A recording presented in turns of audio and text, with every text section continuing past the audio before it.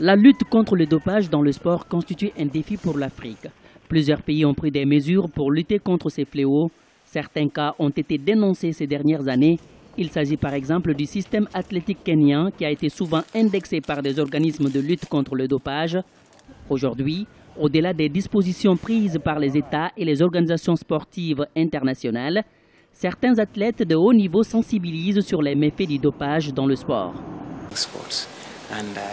C'est une pratique dangereuse parce qu'elle tue le sport.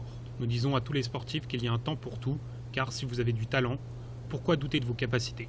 Si vous vous entraînez suffisamment et que vous avez un bon coach, alors vous pourrez réussir dans le sport sans vous doper.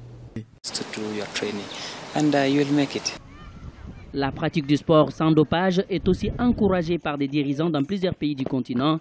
En Côte d'Ivoire, par exemple, où on s'apprête à accueillir le Jeu de la francophonie en 2017, les responsables sportifs multiplient des actions avec pour seul objectif lutter contre ces fléaux qui gangrènent le sport. Nous avons euh, fait des séminaires de formation, aussi bien à l'endroit des athlètes que des encadreurs, c'est-à-dire les coachs d'athlétisme et d'autres fédérations.